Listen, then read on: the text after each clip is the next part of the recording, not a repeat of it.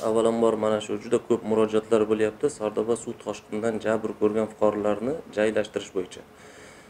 Dastlab shu sardoba suv toshqinidan so'ng beton panelli uylar to'liq reviziya qilinib bir ming sakkiz yuz ellikta xonadon qoraqalpog'iston respublikasi va toshkent shahri va viloyatdan jalb etilgan quruvchilar tomonidan ta'mirlab berilib u yerga aholi ko'chirib kirgizildi. Shuningdek sardoba tumanining do'stlik mahallasidan oltmish uchta olti yuz qirq sakkizta xonadonli ko'p qavatli uylar yaroqsiz holga kelganligi sababli buzib tashlandi. Xuddi shunday e, ushbu fuqarolar hamda suv toshqinida jabr ko'rgan xonadonlarni keyingi bosqichini keyingi joylashtirish bo'yicha e, hukumat komissiyasi tuzilib hukumat komissiyasi tomonidan sirdaryo viloyatida e, jami sakson oltita ko'p qavatli uy ikki ming olti yuz qirqta xonadon qurilishi rejalashtirildi. Bu uylar o'sha e, oktyabr oyiga qurib bitkazildi. Bu uchta massiv tuzildi. Uchta massivni dastlabki o'sha birinchi massivi sardoba tumanida e, do'stlik massivi deymiz o'ttiz yettita ko'p qavatli uyda bir ming to'rt yuz saksonta xonadon keyingisi mirzobod tumanida bu navbahor massivi uch yuz oltmishta. Xuddi shunday e, o'sha haqiqat mahallasi hozirgi kunda yangi o'zbekiston deymiz u yerda e, qirqta ko'p qavatli uy sakkiz yuzta xonadon. Ushbu uylarni taqsimlashdan avval mana shu e, uyga muhtoj bo'lgan fuqarolarni shu ishchi guruh tomonidan may oyidan buyon to'liq e, fuqarolar murojaatiga murojaatiga asosan hujjatlashtirib chiqildi. Hujjatlashtirish davomida shunday narsa ko'zda tutildiki aholimiz uylarda o'zini e, hujjatlarida juda ko'p kamchiliklar bo'ladigan bo'ldi.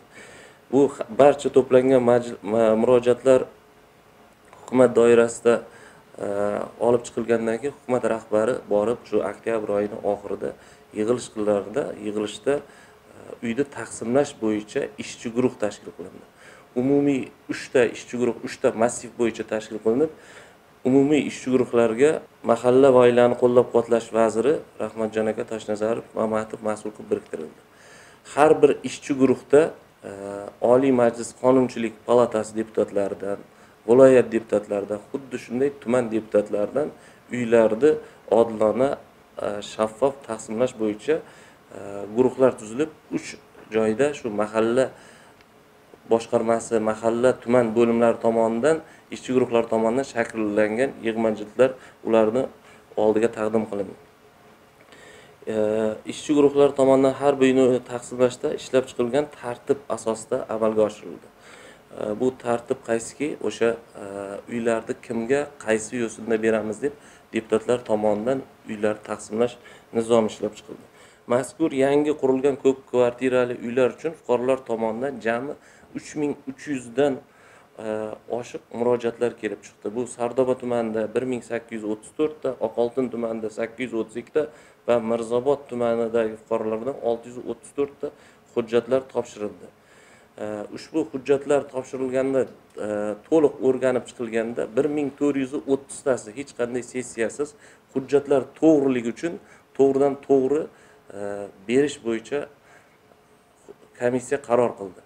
Ushbu bir ming to'rt yuz o'ttizta ko'p qavatli uyni fuqarolarni egalari hech qanday sessiyaga kirmasdan sababi ularni o'sha haqiqatdan yashaganligi uyi buzilganligi hujjatlarda hech qanday kamchilik yo'qligi to'g'ridan to'g'ri e, berildi. Ushbu berish jarayonida shaffoflik adolatni yaratish uchun e, alohida hokimiyatdan alohida binolarda ishchi guruhlar uchun sharoit qo'yildi. O'sha joyda fuqarolarga uy berishda fuqarolarni ro'yxati avval qanday yashagan bo'lsa o'shanday qilib ko'chalar bo'yicha yoki qishloq bo'lsa qishloq bo'yicha ro'yxat tuzilib bir birini taniydigan holatda o'sha ko'p qavatli uyda qirq xonadon bo'lsa shu qirq xonadonni egalari birga bir zalga kirib u yerda e, kvartirani bo'lish tartibi tushuntirildi. Bo'lish tartibi shunday bo'ldiki e, ushbu fuqarolarimizga e, o'zlariga qo'yib berdik. O'sha yashaydigan xonadonlarda ishchi guruhlar birinchi guruh nogironi yoki yoshi keksa bor oilalarni tanishtirdi. Agar shular rozilik bersagina qirq xonadon qo'l ko'tarib taqsimlagandan keyin o'sha birinchi ikkinchi qavatga imtiyozli davrda qur'a tortmasdan xohlagan xonadoniga joylashtirish bo'yicha e, tavsiyaviy ishchi guruhlar buni ularga aytilgandan so'ng e, o'sha fuqarolar roziligi bilan birinchi ikkinchi qavatlar yoki uchinchi qavatlar ham xuddi shunday fuqarolar tomonidan oldi. Qolgan o'sha xonadon raqamlari alohida qurra tashlash uchun yashikka solinib fuqarolar xonadon egalari ro'yxati asosida tortib olindi.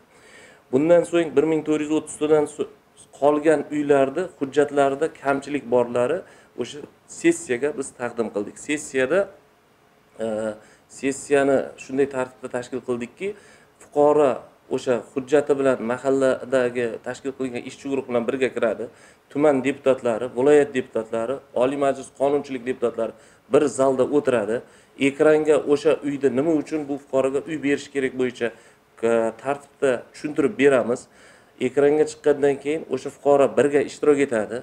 Fuqaroni suv toshqinidan oldingi yo'qotgan xonadoni ahvoli e, va nima sababdan bu fuqaroga uy berilmayotganligi birinchisi tushuntiriladi.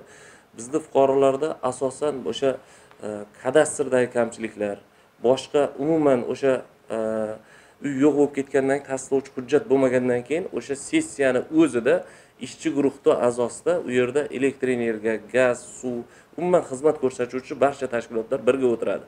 O'sha e, kirgandan keyin o'sha fuqaroni o'sha tashkilotlar kadastri bo'lmagan jihatdan ham o'sha e, iste'molchi bo'lib o'sha yerda yashaganini tasdiqladi. Tasdiqlagandan keyin o'sha mazkur hujjatlar deputatlarga ko'tarib qo'yib berildi. Deputatlar buni qo'l ko'tarish tartibi bilan o'sha sessiya qarorlari bilan uy berildi. Endi biz sessiyaga e, taqdim qilgan hujjatlardan yetti yuz yigirma to'rttasi deputatlar tomonidan rad etildi. Bular nima uchun rad etildi degan hammada savol tug'iladi. Bu birinchidan e, ikki yuz to'qson sakkizta xonadon hali faqatgina poydevor bo'lib yoki ikki uch qator g'isht ko'tarib mana shunga ham uy berasan degan murojaatlar. E, ikki yuz o'ttiz ikkita xonadon bu qurilish nazorat inspeksiyasi deymiz o'sha qurilish tashkilotlari boridan hozirgi kunda o'sha suv toshqinidan xonadoniga e, zarar yetmagan ya'ni yashash xonadoni yaroqli holatda turibdi degan xulosa oldik. Dastlab sirdaryo viloyatidan keyinchalik mana shu e, yana hukumatni e, iltimos qilib u yerdan shu respublikadagi markazlar ham borib buni o'rganib o'z xulosalarini berdi.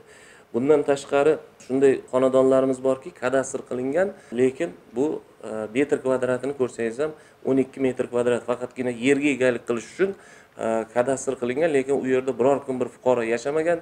Lekin buni e, ko'rsangiz e, bizda anavi qishloq tilida временка deydi yoki umuman vaqtinchalik dala shiyponga o'xshatib qurib qo'ygan uylarga uy berishi deputatlar tomonidan rad etildi. Mana shu bo'yicha hozir e, men ochiq oshkor ayta olaman. Mana shu sirdaryo mirzobod oqoltin tumanlarida bugungi kunda suv toshqinidan zarar ko'rib umuman ko'chada qolgan fuqaromiz qolmagan. Bundan tashqari suv toshqiniga qadar uyi bo'lmagan lekin og'ir ijtimoiy ahvoldagi xonadonlarni bo'yicha ham alohida shu ishchi komissiya tomonidan ko'rib chiqilib taklif kiritilgan edi. Bu bo'yicha eski muqaddam shu suv toshqinidan oldin shu tumanlarda foydalanilmay yotgan eski binolardan e, uchtasi tanlab olindida bularni barchasi ta'mirlanib e, ikki xonalidan uy qilindi. Uy qilinib bu muqaddam suv toshqiniga qadar ham uyi bo'lmagan fuqarolarga to'g'ridan to'g'ri to'liq sharoitlar bilan qilib topshirildi.